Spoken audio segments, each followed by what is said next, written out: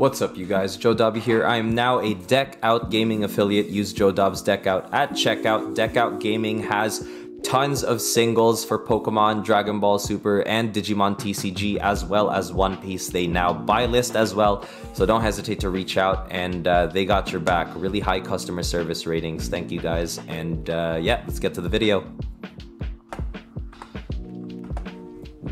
What's up, YouTube? This is Jodobbi, your Digimon TCG Purple deck creator. This is not a purple deck, but um, I just wanted to let you guys know of this deck because I have a lot of close friends or some close friends that have experienced um, their frustration facing Beelzemon X antibody. Um, and I know that this is circling around Facebook groups where people are like, we need a floodgate that prevents trash from deck. You know what I mean? And I'm like, I don't think that is the issue with the deck. I think with Beelzemon, the issue of the deck is just Beelzemon X antibody. The rest of the deck, I think, is fine. Um, if Beelzemon X antibody did had had a more nerfed or more uh, difficult um, effect to pull off, um, for lack of a better term, then maybe people would experience less frustration with it.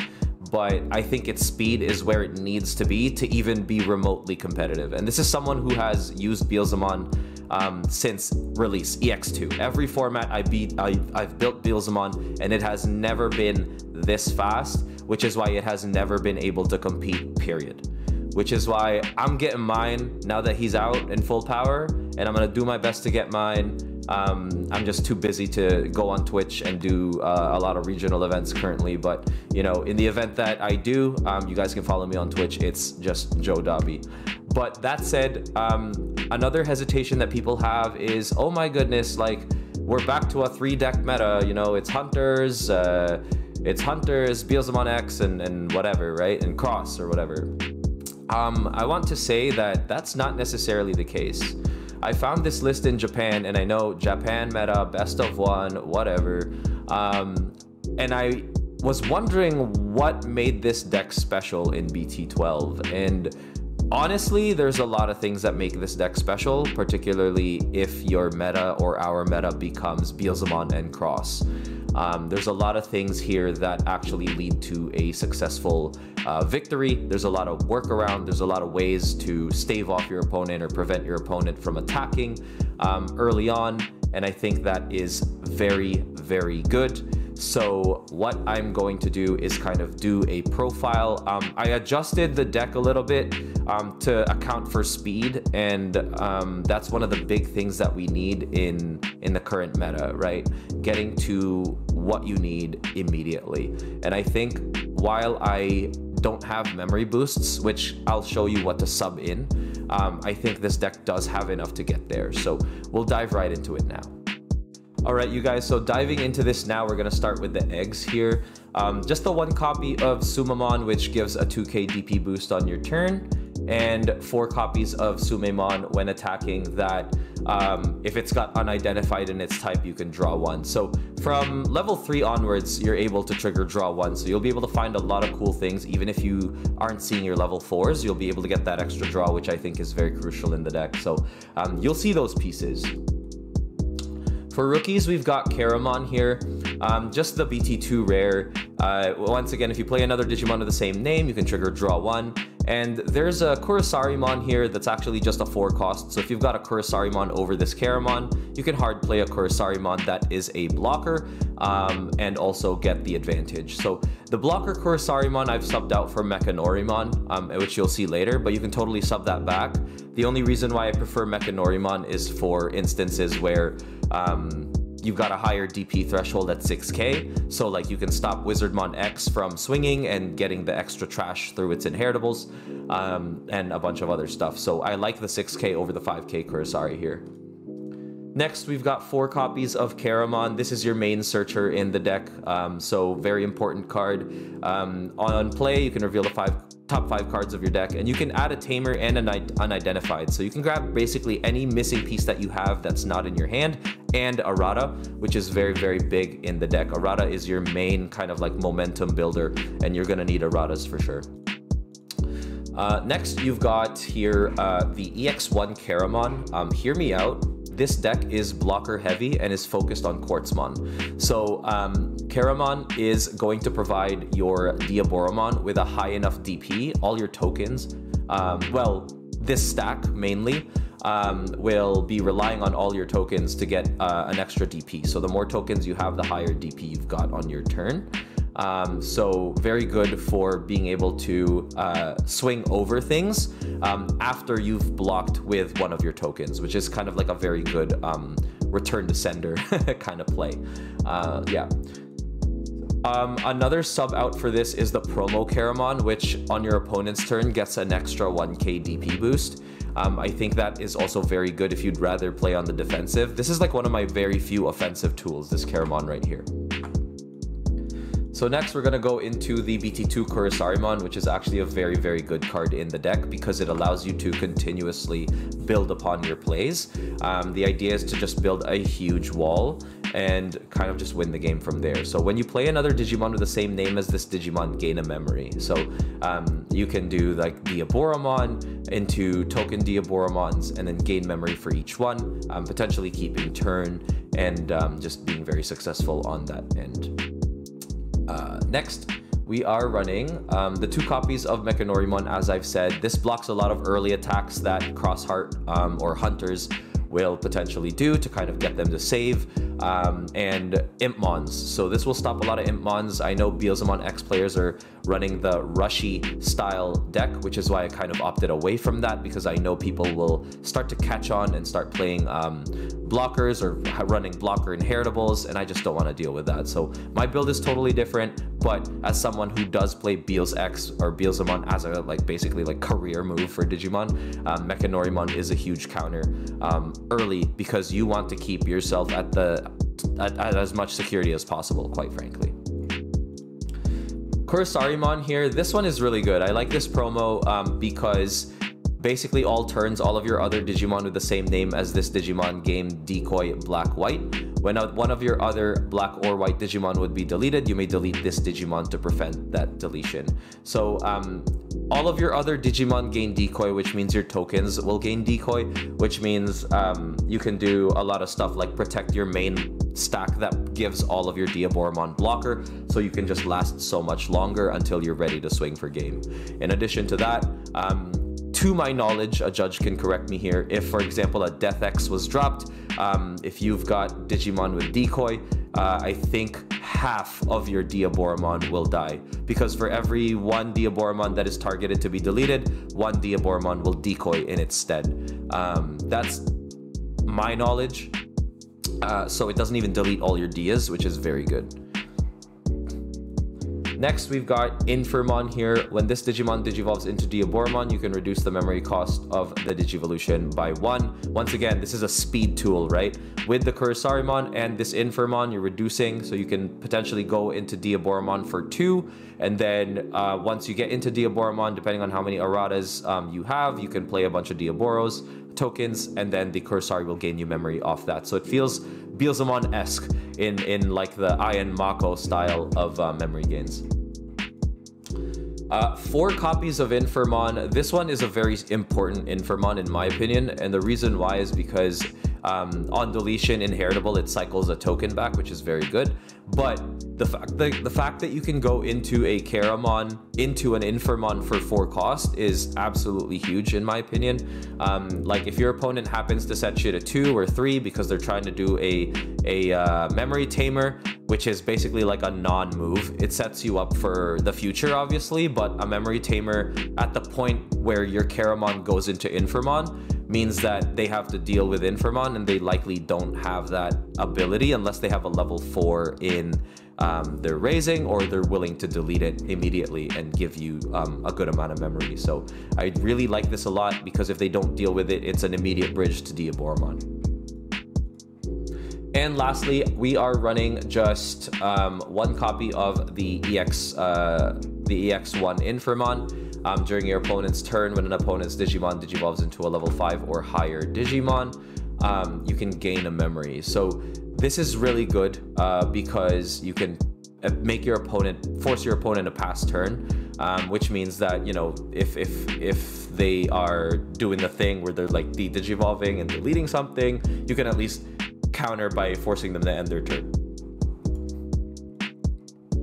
Next is the BT5 Diaboromon, which is actually a very powerful Diaboromon. When digivolving, you may play one Diaboromon token without pay paying its memory cost. Um, and in addition to that, it stacks with Arata. So like, you know, it doesn't stack with Arata, but it works well with Arata because it can play a token and then your Aratas will play more tokens, um, which is kind of nice. So then you just have that one extra token to potentially block or, or be, be a decoy target, etc. Um, next is the EX1 Dia, and this one is super powerful. This is the main Diaboromon that you want to get into, followed by the second one, just to perpetuate the amount of blockers that you have and, and kind of like just have a huge wall. Um, security at the end of battle, you may play one Diaboromon token without paying its memory costs. Diaboromon tokens are level 6, blah, blah, blah, blah, blah. Um, opponent's turn, all of your Diaboromon gain blocker, which is really huge because, you know, if you can stave off your opponent once again with Mekanorimon and get into this guy, and you've got a couple of Radas out, then you're gonna have like four or five blockers, and then it's like, what does Beelzemon do at that point? How do I deal with that board, right? Um, because Beelzemon, for example, will only really have Deathslinger, Rivals Barrage, and those are all single target.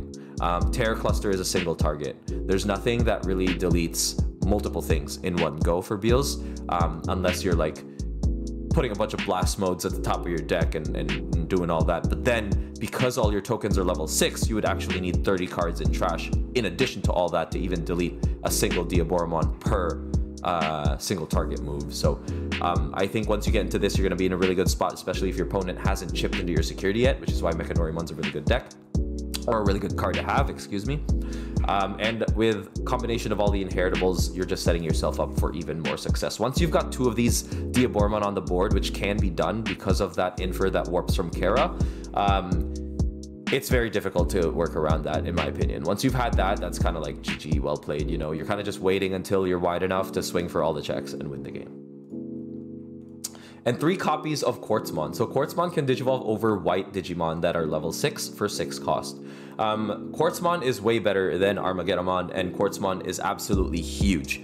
Um, the biggest combo that I can let you guys know here is you build, you establish that wide board, and you don't even need to ever unsuspend your Diaboromon when you're ready to go for game. When you're ready to go for game, if you've got the memory, you just digivolve into Quartzmon, suspend all of your Digimon and Tamers, then for every um, suspended Digimon and Tamer, gain one memory. So, um, you know, if you've got for every Diaboromon token, for every Tamer, and for every Digimon and Tamer that's on your opponent's board, you are gaining a memory. So this Quartzmon can potentially be free. Isn't that awesome?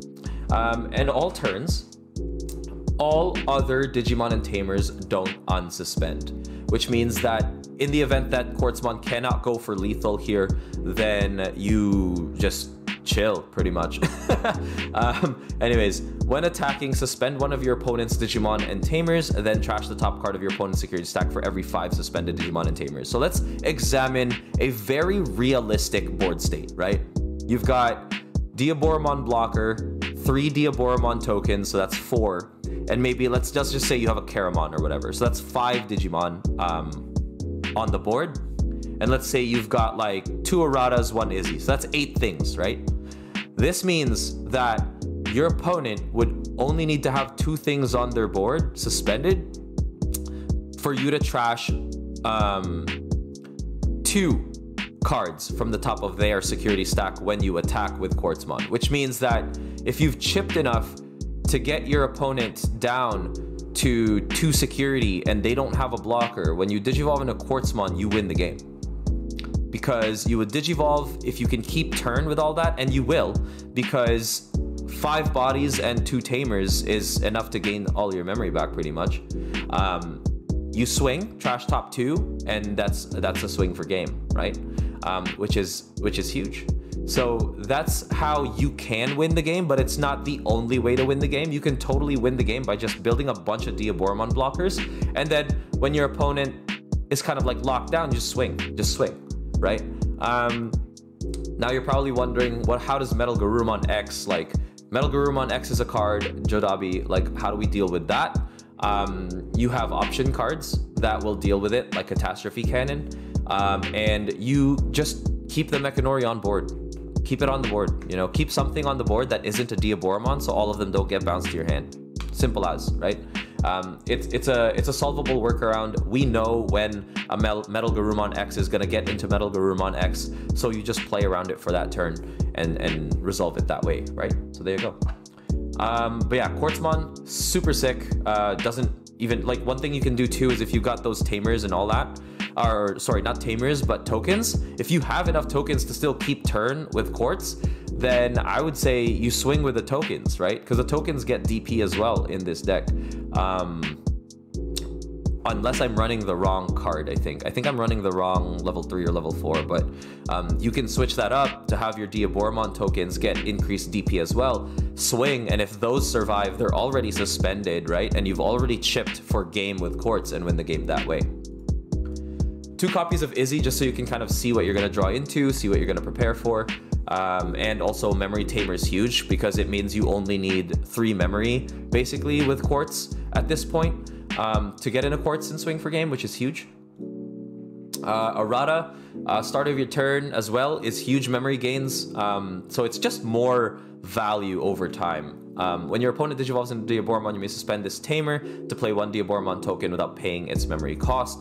So the sequencing here is pretty much like you go into Diaboromon over, um, you know, you go into Diaboromon, you suspend all your Aratas to play as many tokens as you can, um, and then you go into Quartzmon and suspend everything that you played, right?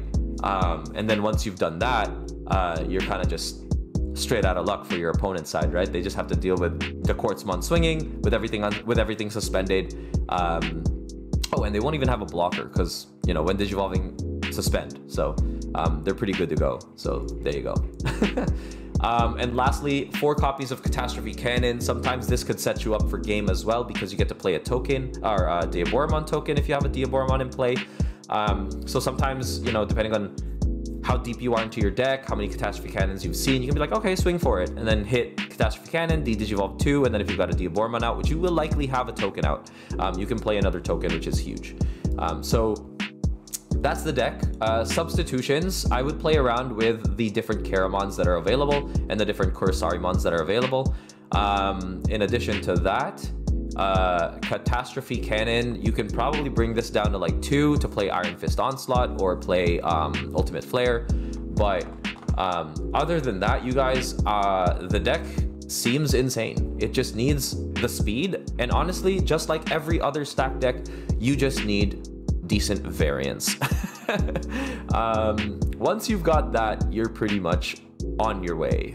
Um, but yeah, that is the deck profile, you guys. Uh, let me know what you think in the comments. Um, whether you want to play this deck, whether you want to dust off the old Diaboromon and, and throw three Quartzmon in there and and uh, and run the hands and see if you got it. Um, let me know what changes you've made, and if you like the video, please like and subscribe. Thank you guys so much for watching, and peace.